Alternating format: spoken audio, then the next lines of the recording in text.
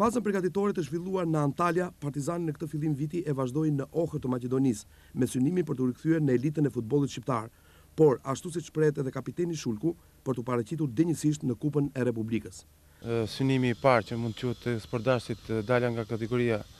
dalja në kategori të parë për mendimin tim personal është e padiskutueshme, ndërsa objektivi kryesor i stafit dhe i neve lojtarëve është Kupa e Republikës.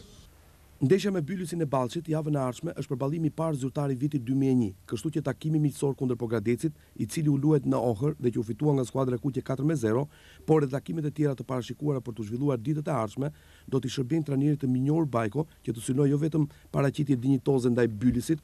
të Ballshit, por edhe të bëjë realitet ëndrrën e mijëra tifozëve të Partizanit anë e mbanë vendit, kualifikimin për në turin tjetër të Kupës së Republikës. Ka filluar një proces rinovimi në të gjitha aspektet, në të gjitha pikëpamjet, duke ndjekur një strategji afatgjatë.